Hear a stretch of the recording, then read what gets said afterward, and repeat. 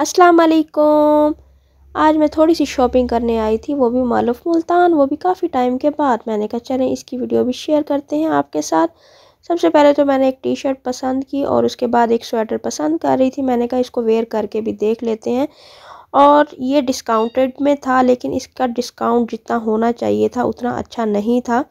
और ये लूज़ में थी और इसका फैब्रिक भी काफ़ी सॉफ्ट सा था और कलर भी बड़ा ही कमाल का पर्पल और येलो सा था और काफ़ी हद तक लाइट वेट भी थी।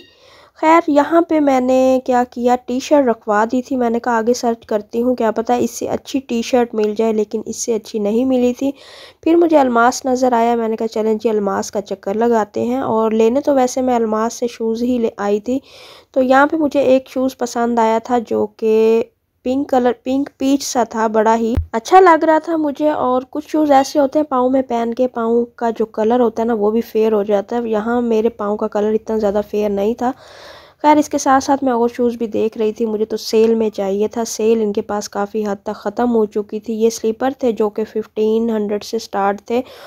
फिफ्टीन हंड्रेड से लेके twenty thousand sorry two thousand तक थे। तो यहाँ पे मुझे ये वाला शूज़ पसंद आया। ये तो मैंने फटाफट परचेज़ कर लिया और ये पड़ा भी आखिरी ही हुआ था। साइज़ ही नहीं था। अलमास से ख़रीदने के बाद साथ ही सर्विस थी। मैंने कहा, चले यहाँ पे भी मैं एक चक्कर लगा लेती हूँ। आप मुझे कमेंट में बताएँ, जो मैंने पीच कलर का शूज़ पसंद किया, क्या वो अच्छा है? और इसके साथ ही यहाँ पे मैं कोई जोगर टाइप लेना चाह रही थी। एक मुझे पसंद आया था, जो भी मैंने आपको पहन के भी दिखाया। तो उसका रेट कुछ ज़्यादा था तो इसीलिए मुझे एक और पसंद आया ये भी अच्छा लग रहा था। मैंने कहा, चलें ये लेते हैं। इसके साथ ही मैंने एक पिंक पीच सा देखा, ये कुछ अच्छा नहीं लग रहा था। तो ये थी मेरी हल्की फुल्की सी शॉपिंग आप सबके साथ। उम्मीद करूँगी आप मेरी शॉपिंग को ज़रूर एंजॉय करेंगे। मुझे तो हमें याद रखेंगे। अपना ख्याल रखिएगा। मिलते हैं नेक्स्ट वीडियो में। साथ ही अगर आप न्यू आए हैं तो मेरे चैनल को सब्सक्राइब करना मत भूलिएगा।